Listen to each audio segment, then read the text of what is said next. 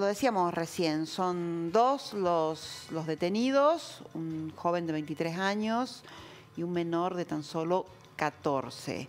También había versiones esta mañana que provenían por parte de los familiares de este joven de 23 años detenido, que podría tratarse de un perejil, como dicen la jerga común, ¿no? Bueno, son todas cuestiones que seguramente con el transcurrir de las horas eh, podremos ir dilucidando también a partir de los, de los testimonios. La justicia hasta ahora no ha hablado más que eh, la información que les hemos dado a conocer respecto a la causa, lo que el Ministerio Público Fiscal ha difundido a través de audios del fiscal Daniel Miralles, que es quien entiende la causa, y a, través del diálogo que mantuvimos ayer aquí en vivo en Telediario con el jefe de la policía, que dio algunas precisiones más que han orientado esa investigación.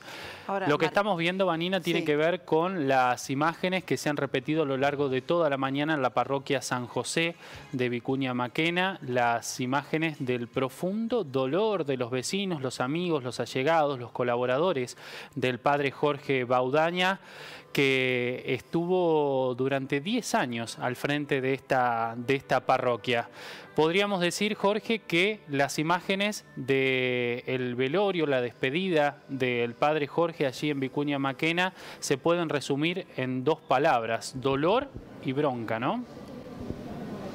Así es, dolor y justicia, diría yo, porque dolor porque están despidiendo al sacerdote que el pueblo ha tenido durante más de 10 años, una persona muy, muy querida, muy querida por su forma de ser, por su solidaridad, pero también por todo lo que hizo, dicen los vecinos de este lugar. Y bronca y pedido de justicia por lo que ha ocurrido realmente. Y cabe señalar que si bien el asesinato del padre Coqui Baudaña fue quizás el disparador de lo que ocurrió ayer, de esta movilización, de esta pueblada que vivió la ciudad de Vicuña Maquena. La gente indudablemente viene soportando hace mucho tiempo eh, problemas delictivos de distinta índole. Ellos mismos lo señalaban.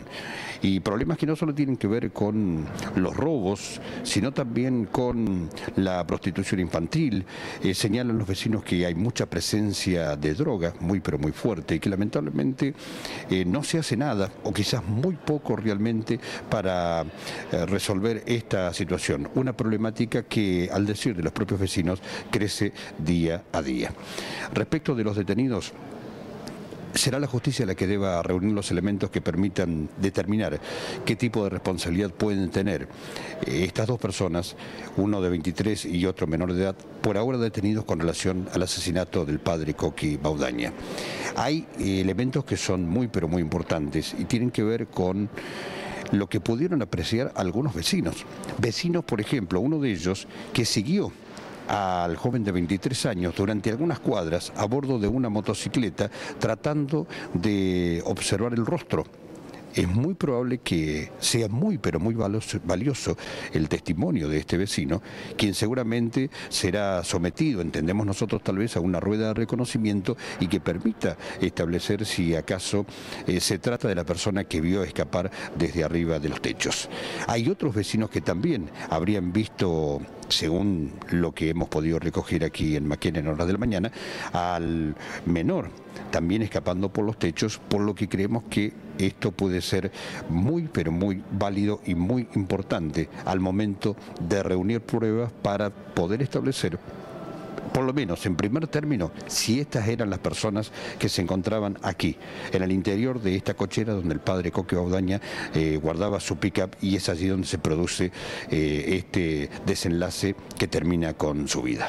Jorge, porque decíamos, comentábamos con Martín, yo le preguntaba, porque había algunas versiones que indicaban que, sobre todo por parte de la familia de este joven detenido de 23 años, que se trataría de un perejil. Pero por lo que vos contás, eh, habría eh, testigos entonces que a este joven lo habrían visto escapar de inmediatamente después del crimen, ¿no? Del lugar donde se produjo.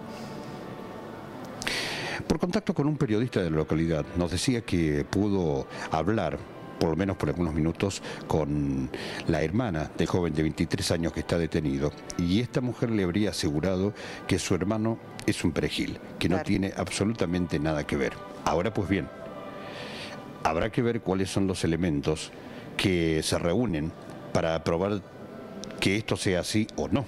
Porque por otra parte, si hay testimonios de quienes dicen haber visto salir corriendo a este joven de 23 años y al otro menor, eh, bueno, indudablemente que ya no quedarían demasiadas dudas acerca de quienes estuvieron eh, aquí en la zona de la cochera, en el patio, en la parte trasera de la parroquia San José.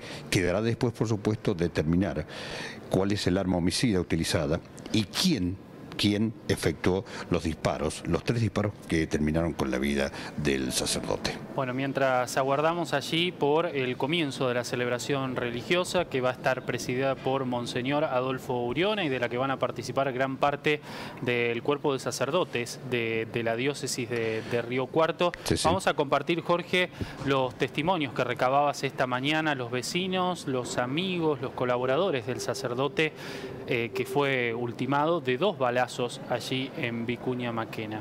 Pueden resumirse, como lo decíamos antes, en el pedido de justicia y el profundo dolor. Pobre padre, no nos esperábamos nunca nosotros que nos iba a pasar una cosa de esta acá en, este pueblito, porque es un pueblo tan humilde, pero no nos, no nos imaginamos nunca que nos iba a pasar una cosa de esta. Es una cosa que no se puede creer todavía, no hay forma. ¿Y qué recuerdos tiene del padre? Ah, muchísimo, muchísimo. Un hombre tan solidario, tan, tan tratable, muy, muy, muy, muy, un hombre muy sobresaliente. El padre fue una gran persona y acá en Maquena va a quedar un recuerdo muy grande. Es una escuela, en menos de dos años, que ni el gobierno la hace. Y todo este mal viene porque está mal arriba. La mafia está arriba. Eso es lo que está pasando.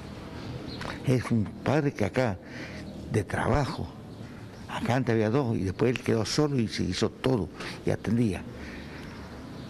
Paunero, eh, eh, acá Washington, Tosquita, la Colonia, la otra iglesia está atendía todo de acá, Soler. Es un padre que se movía todo el día. Es una persona muy, muy dinámica, muy buena, se daba mucho con la gente. Y bueno, y que haya pasado esto también de la manera es muy triste.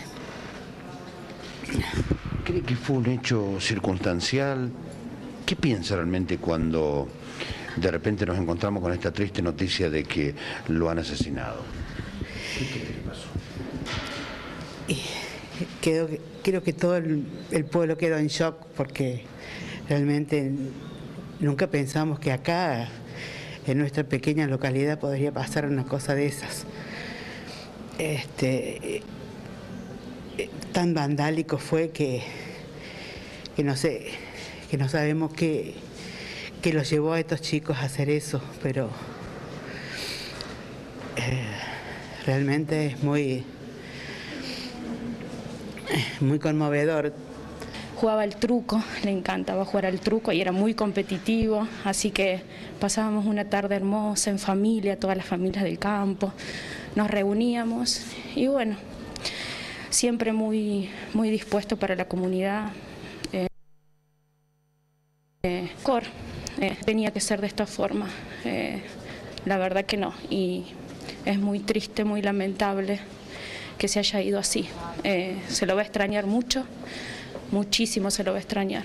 Así que bueno, que Dios bendiga mucho a su familia, a su mamá y a nosotros acá, que nos acompañe desde arriba, que nos ayude y que esto se esclarezca, salga a la luz, porque de la forma que le arrebataron la vida no, no tiene nombre, realmente. Excelente persona, excelente persona. ¿Alguna anécdota en particular? bueno conmigo, sabía yo cuidar, cuido ancianitos así, y siempre me decía, cuide lo que decía acá.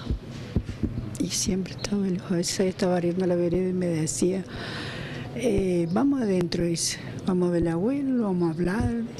No, muy buena persona. Se lo juro que anoche lloré toda la noche y ahora no, me siento, no, no puedo creer lo que pasó, no puedo. Recordarlo con todo el amor, eh, buena persona, eh, concurría eh, a la misa, sí, una excelente persona. bueno, muy doloroso el día de hoy.